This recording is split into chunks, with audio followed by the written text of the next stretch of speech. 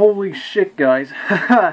um, I just had to record this one now because I just got the biggest shock I've ever had. Well, one of the biggest shocks of this year from 2015, the last month of 2015.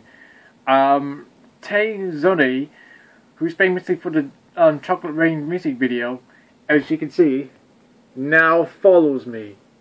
A YouTuber follows me. Holy shit.